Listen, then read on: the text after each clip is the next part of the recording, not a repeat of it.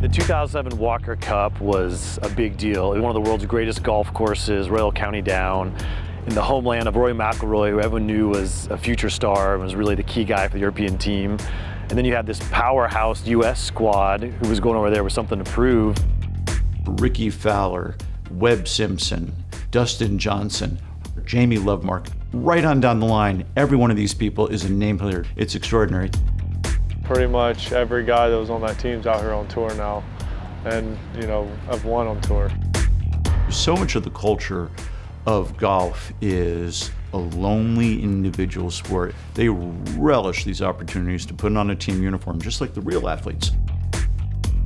You're talking about teenagers and guys in the early 20s. They're just volatile emotionally.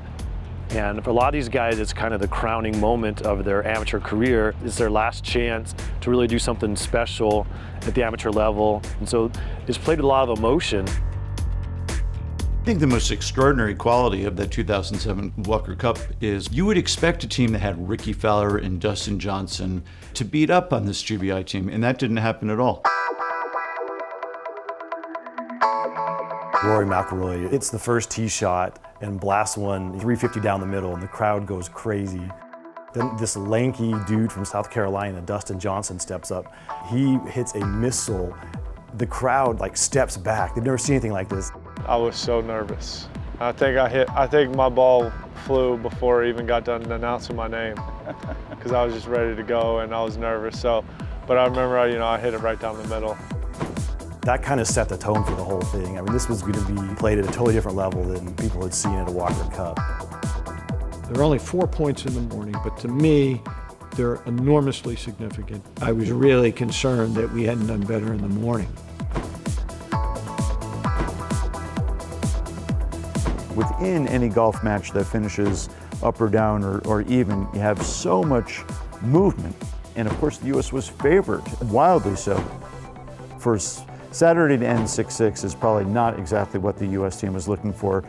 Kind of gave a, a, lot of these callow young Europeans the belief that they could, they could do it. They're clearly the underdog, and yet they fought the stronger American team to stand still.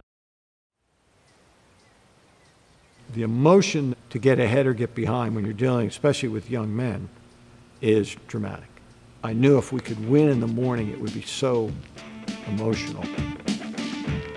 The U.S. comes out in the morning, and they just blitz GBI.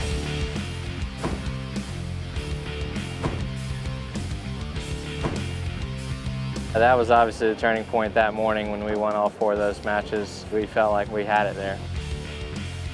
All of a sudden, the U.S. has this almost insurmountable lead. That's such a, a, devastating thing to the European side. They had to do something incredible in singles to get back into the match. I put a bad this morning, let Jay down a little bit, um, so I was going out this afternoon trying to get a bit of revenge.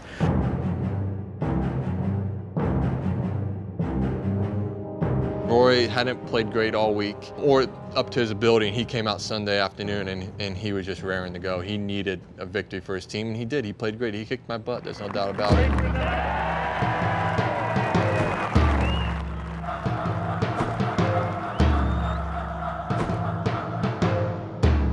Take four and a half of the first five points in singles, that throws the whole tournament back into doubt. The U.S. was faced with potentially this historic collapse. I was thinking, you know, this is not going the way we thought it was going to go. It's going to blue and not the red, and you're going the it's going the wrong way. Four points, all of a sudden three points, and three points, all of a sudden two points, and you know, it gets pretty tense. And all you're thinking about is, okay, who's going to win me that point? I remember making a putt and, you know, just hearing the crowd go, ah. You know, just takes take their first single. Jamie Lovemark beats Jamie Moul four and three. It really came down to the superior depth of the U.S. team. They just had more guys who could handle that heat in the back end of the lineup, and, and they held on. I remember all of us following Jonathan Moore's match and he's got this shot in 18, 235 yards, and I think hits his five iron, lands I mean, it's just all over the fly, lands it just short of the green, it rolls up, and he's got three feet. They're all on the side of the green. You know, Jamie Lovemark is right to my right, Colt Knost, you know, Rickie Fowler, You know, I think the only other guy behind Jay Moore was uh, Webb Simpson. I mean, we're all by the side of the screen knowing that if he makes his putt, it's over. I mean, we wanted to win outright. Is that, what a way to finish. He makes the putt and we rush on the green and we're lifting up Jonathan Moore and we're going crazy. I mean, it was just uh, an experience that uh, I'll remember for the rest of my life. When you look at the names today and you see how stacked the American team was, the fact that GBI got within one point of the American team is really the most remarkable thing about the two-day competition. To have that many good players who are still amateurs, it's just probably never going to happen again.